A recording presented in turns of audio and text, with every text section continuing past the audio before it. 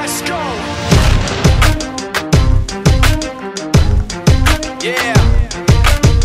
For those of you that want to know what we're all about, it's like this, y'all.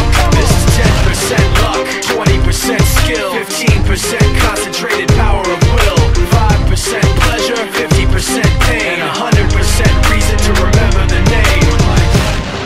Need his name up in lights. He just wants to be heard, whether it's the beat of the mic. He feels so unlike everybody else alone In spite of the fact that some people still think that they know him But fuck him, he knows the code. It's not about the salary, it's all about reality And making some noise, making a story Making sure his click stays up. That means when he puts it down, Tox